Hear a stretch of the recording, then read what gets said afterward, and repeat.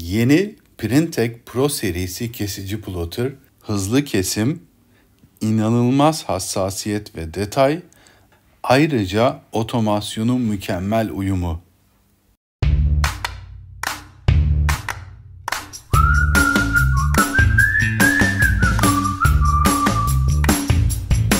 Herkese merhaba ben Selim Coşarcan. Yeni bir Printek Online videomuza hoş geldiniz. Bugün çok heyecanlıyım. Çok uzun süredir beklediğim yeni bir cihazımız geldi. Kesici plotter zaten en sevdiğimiz ürünlerden biri biliyorsunuz. Artık Printek Pro serisi yeni makinamız da var. Pro serisinin diğer standart makinalarımızdan e, birçok farklı özelliği var. Her şeyden önce e, makinanın kendisi servo motorlu, dokunmatik ekranlı, çok daha hızlı gibi özellikleri var. Ama biz bir ek yaptırdık. Ee, şimdi bildiğim kadarıyla diyeyim belki vardır ama bu segmentte Türkiye'de ilk kez bu tarz bir ayak getirdik. Ee, ayağın kendi iki ayrı motoru, dört ayrı sensörü daha var. Bu ne işe yarıyor? Uzun iş basıyorsanız yani öyle 1-2 metre için önemli bir fark değil. Fakat uzun iş basıyorsanız arkada malzemenizin boşluğunu otomatik veriyor. Siz kestikçe de önde otomatik topluyor. İsterseniz kuru kuru anlatmak yerine gelin biraz çalışırken bakalım. Bir ince detay kesim testi yapalım. Biraz seri kesim yapalım. E, sonra birkaç metrelik bir kesim verelim. Onu timelapse hızlandırılmış çeker araya montajlarız. Sona doğru hızlı bir tane de pozalı kesim testi koyarız. Ama tabii bizim buradaki yazıcılar A4 olduğu için rulo pozalı kesim yapamayacağız. Ama pozalı kesimde de geniş format yazıcıdan metrelerce rulo basıp metrelerce ruloyu pozalı kestirebilirsiniz. Onu da söyleyeyim. Hadi gelelim bir makineyi çalıştıralım. Evet, makinenin çalıştırma tarafı bu tarafta ana güç tuşu. Şimdi ledlerimiz yanacak. Ee, diğer her şey burada. USB girişi, kablo girişi, flash disk girişi vesaire. Ha bu makineye dahil değil. Bizim opsiyonlarda opsiyonel ıvır zıvır koyma şeyi. Kesime başlamadan önce videoda ne yapacağımızı bir anlatayım. Kesim testlerini yapacağız. Ondan sonra hakikaten çok güzel detayları var. Size yakın çekimden o detayları gösteririm. Sonra bir indirim kuponumuzu artık klasikleşmiş e, size veririz. Hatta bu sefer indirim kuponu cihaz için geçerli olacak. Pek yapmadığımız bir şey. En sonunda da tabii ki sonraki videolar hakkında ne çekeceğiz, ne edeceğiz söyleyip kapanışa geçeriz. Şimdi ben bir detaylı kesimle başlayayım istiyorum. Ee, tamamen dokunmatik ekran. Malzemeyi ben önceden yerleştirdim. Bunlarla bu videoyu uzatmak istemedim çünkü teknik destek kanalımızda bıçak nasıl takılır, nasıl ayarlanır, dokunmatik ekran nasıl kullanılır, rulo sistemi nasıl yapılır hepsini çok detaylı anlatacağız. İsteyenler onları teknik destekten görebilecek. Ee, kesim dosyalarını flash diske kaydettim. O yüzden çok şey yapmıyorum. Ayarları zaten yapmıştık. Kesime başlıyorum.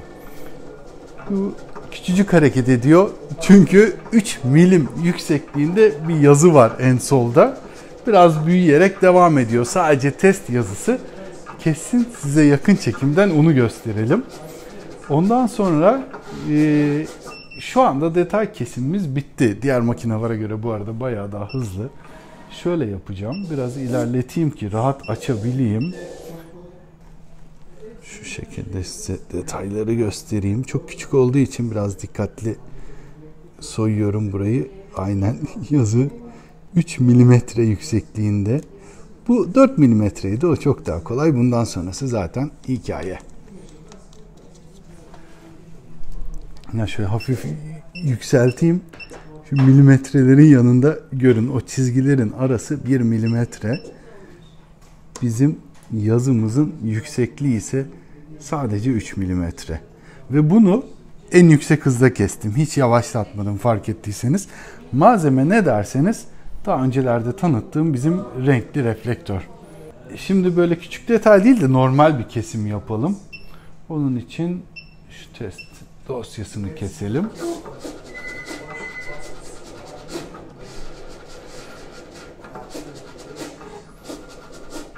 Burayı hızlandırıyorum. Birazdan göreceğiniz kesim aşağı yukarı 50 saniye sürüyor. Hatta makine çok temiz kestiği için çok rahat ayıklanıyor ama ayıklama kısmını da yine de hızlandıralım. Ee, evet ben ayıkladım.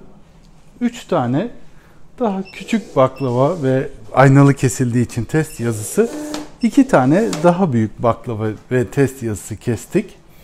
Ee, şimdi isterseniz asıl bunun güzelliğini gösterelim. Ee, Tabi burada bıçağı çıkartacağım.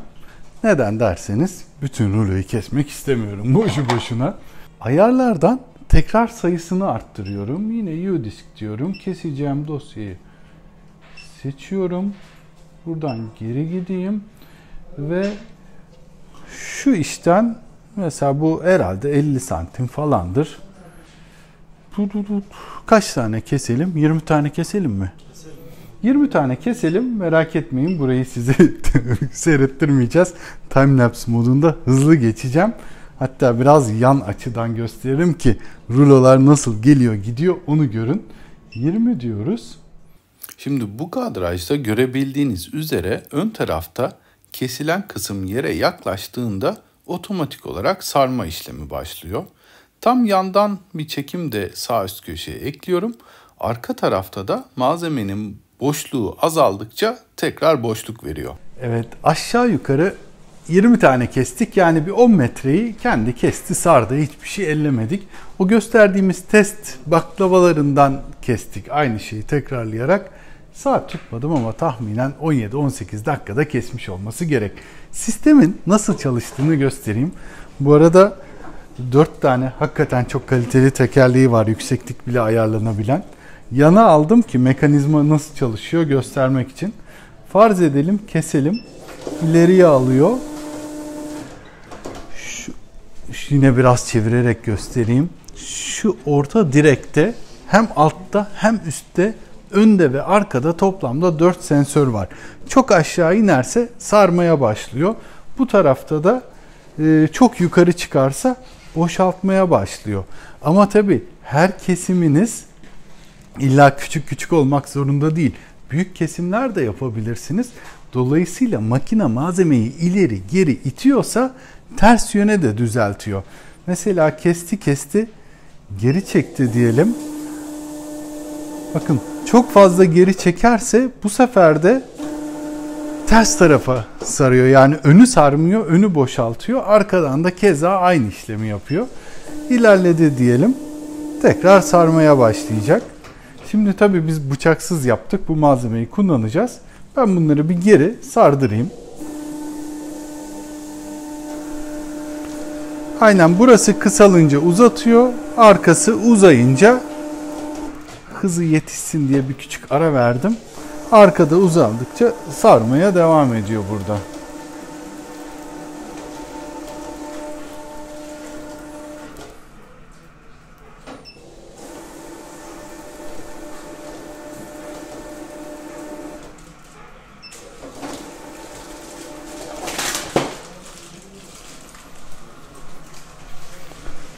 Bu ne derseniz biz ayıkladığımız için şuradan bir durdurayım ya da ayağımla motoru durdurdum. Şu anda biz bunu ayıklamıştık ya. Çok kuvvetli, yapışkanlı bir taşıyıcı kendi üzerine yapıştığı için bu sorunu yaşadık. Normalde ayıklamamış olacaktınız tabii ki veya taşıyıcısı bu kadar kuvvetli olmayacaktı. Şu anda ben elle zor açıyorum. O kadar kuvvetli bir yapışkan.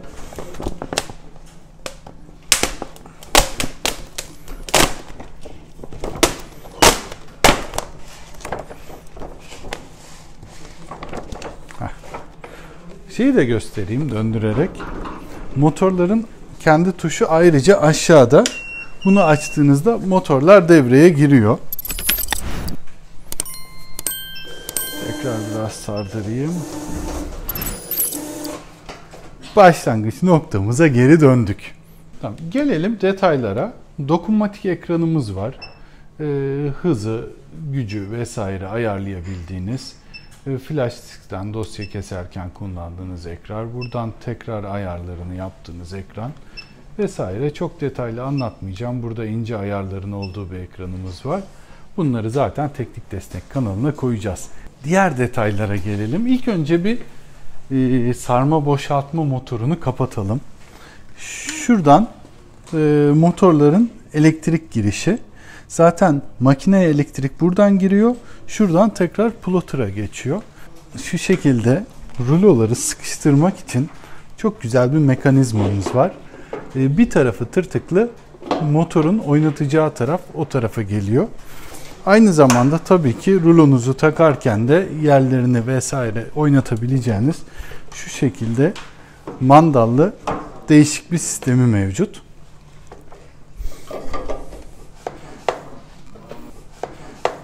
Detaylara çok dikkat edilmiş bir makina. Oldukça ağır bir ayak sistemi olduğu için zaten e, tek kişi imkansız iki kişinin bile kaldırıp taşıması çok zor.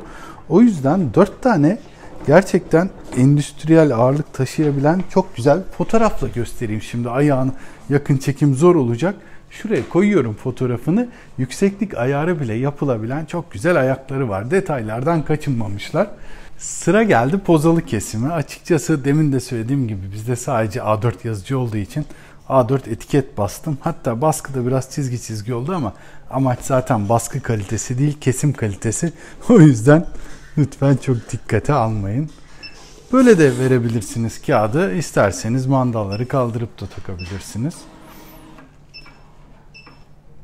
Ee, bunun yazılımdan nasıl ayarlandığını tabii ki yine ayrı videolarda anlatıyoruz. Bıçağı üzerine getirdik. Ben yine flash diske e, kaydettim dosyayı. Flash diskten doğru dosyayı alayım.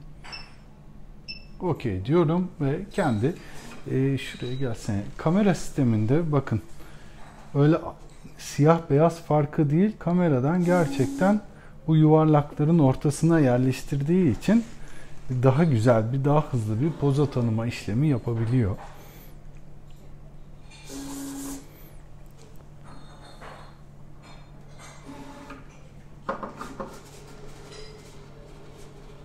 Servo'nun tabi bir de sessizlik farkı da var fark etmişsinizdir.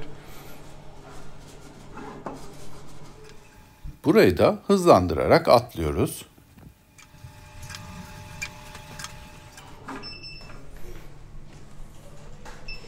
Kesimimiz bitti bile. Hiç yavaşlatmadım. Gayet güzel kesti. Hangisini çıkarayım size?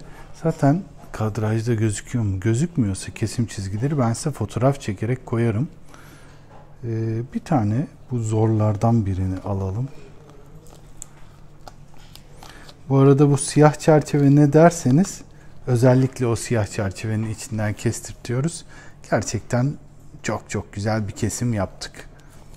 Ee, aslında özellikle fuarlarda rulo baskes de soran çok oluyor. Ee, ne zaman yapabiliriz bilmiyorum ama dışarıda sizler için böyle birkaç metre bir geniş format yazıcıda bastırtıp bir kere de bu sarma sistemiyle beraber o birkaç metre baskıda pozalı kesim nasıl yapılır onun da size videosunu çekip ileriki zamanlarda yayınlayacağız. Bu videoları da kaçırmak istemezseniz kanalımıza abone olup zil işaretine basarsanız biz video yayınladıkça YouTube sizi bilgilendirecektir. Beğenmeyi de unutmayın lütfen. İndirim kuponuna gelince bu sefer size göre sağ üst değil sol üst köşeye koyayım. Ee, yüzde olarak vermeyeceğim. Makinayı satın alırken video yayınlandıktan 10 gün içerisinde 2000 TL indirimle kullanabilirsiniz. Kupon kodumuz da Printek Pro. Kolum bir şeye çarptı. Neyse önemli bir şey değilmiş. Ee, bu videomuzun da sonuna geldik. Bir sonraki videoda daha karar vermedim ama iki seçeneğim var. Birincisi e, ek ücrete tabi ama CAD-Link'in dijital faktörü yeni DTF, DTF, RIP yazılımıyla alakalı bir video çekebiliriz. Ama o yazılıma ben de daha tam hakim değilim. Bir de büyük makinamız yazılıma yakında eklenecek herhalde onu bekleriz. O olana kadar da hem bu makineyi kurcalamış oluruz. Değişik böyle mesela jüt kumaş vesaire üzerine transfer baskıyla alakalı veya peçeteye transfer baskıyla alakalı bir video yaparız. Seyrettiğiniz için çok çok teşekkürler. Bir sonraki videomuzda görüşmek üzere. İyi akşamlar.